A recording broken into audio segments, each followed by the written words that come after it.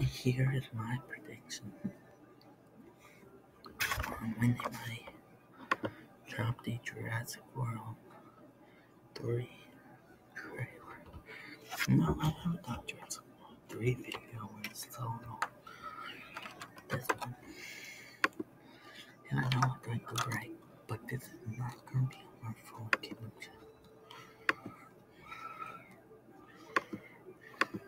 Okay, it will be.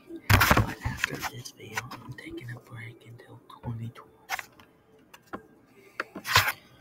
And the news and my predictions is they're gonna drop it June 22nd, 2020. And the- after the anniversary of Jurassic World, the Fallen Kingdom, they'll release the trailer.